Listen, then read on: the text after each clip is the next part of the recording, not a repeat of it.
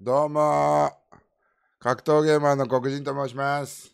本日、雑談と申しまして、私、誕生日でございます。8月7日をもちまして、私、42歳、誕生日でございます。一人だけの誕生日会、始めさせていただきたいと思います。よろしくお願いします。ちょっと、風呂上がりでございまして、ごめん、ちょっと遅れてごめんなさい。風呂上がりでございますね。ちょっと、肌のお手入れさせていただきます。すいません。誕生日会なんでね、しっかり肌を作っていかないといけないということで。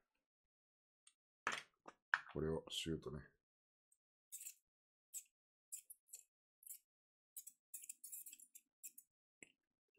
化粧水をね、かけて。何時間寝れたの？言うて6時間ぐらいしか寝てないですね。言うて。24時間ぐらい起きて、配信十何時間やって。今までぶっ通しですか？いやー、しんどいね、ちょっとね。もう一回寝させて。うん、もう一回寝たいと思います。まあ、とりあえずでも、2、3時間やりますんでね。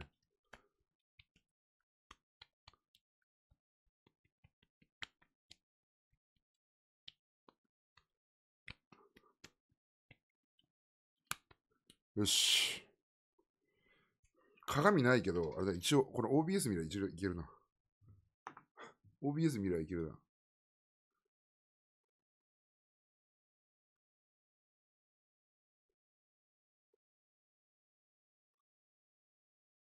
めっちゃむずいんだけど。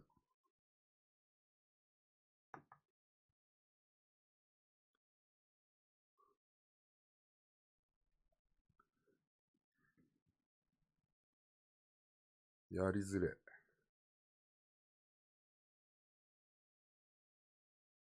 まあ、適当に塗っときゃいいか。ちょっとこれ、目が悪いで。これ持ってくれば。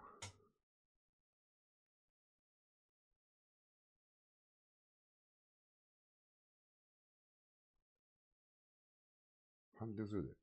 むずいな。OK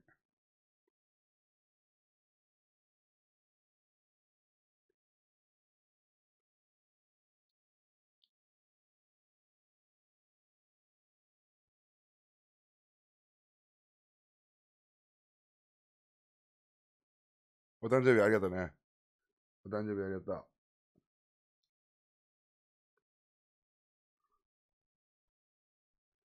毎日クリーム塗る。あ、肌悪い時だけだね。今ちょっとあんまり良くない時だから。